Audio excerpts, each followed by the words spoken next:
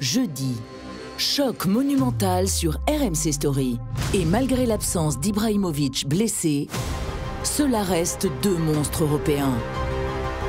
Deux clubs mythiques, deux légendes. Premier duel entre les deux favoris de la compétition. Le magicien, le coup de baguette magique pour parachever le succès. Huitième de finale allée de l'UEFA Europa League, Manchester United AC Milan, jeudi à 18h55 en direct sur RMC Story, canal 23.